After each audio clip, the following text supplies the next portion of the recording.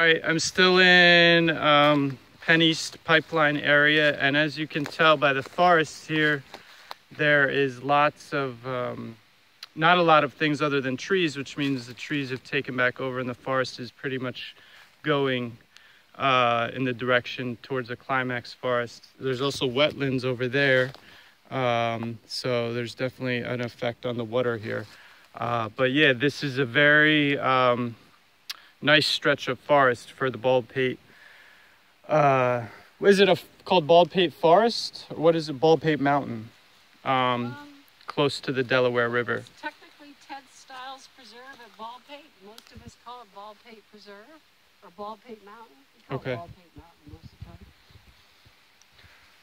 Um, but yeah, so Penn East would wipe out basically all of this because there's the the uh, over there is the right of way, but they're really not sticking to the right of way. They're going to push pretty deep in um, to the forest, and so this whole swath going this direction and going that way, uh, and it's on a ridge. I don't know if you could tell. But um, or on a slope, the slope they're going to cut into, and they're going to take a lot of the they're going to cut into the rock. So it's going to be very, very disturbing. Um, I'm quite disturbed by it. So I'm sure the things that live here are quite upset if they knew what was coming.